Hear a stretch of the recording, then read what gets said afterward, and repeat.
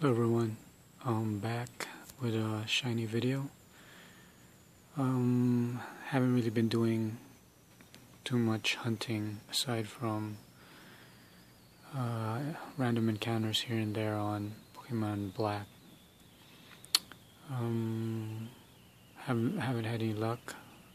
I haven't been doing it regularly either.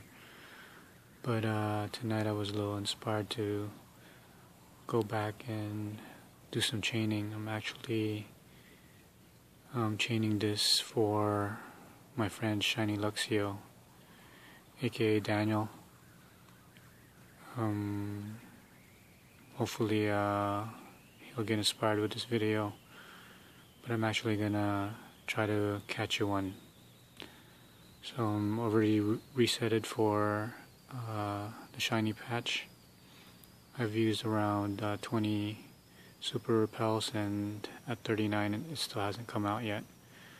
But it did take um, about 13 tries to get this to 39 it had broken my first chain was like at 26 and then four chains later um, just keeps on breaking. The fourth one was like 15 and um, nothing above 15 um, the next few tries several tries actually.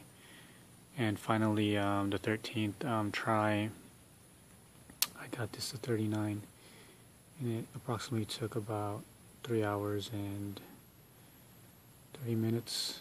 Um, so now I've been resetting for about uh, 30 minutes now so total time about uh, 4 hours.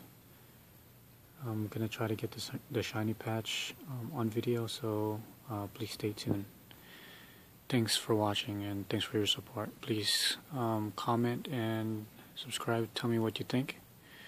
Haven't you know heard from a lot of you guys um, out there, so it'd be nice to um, hear what your inputs are. Thank you.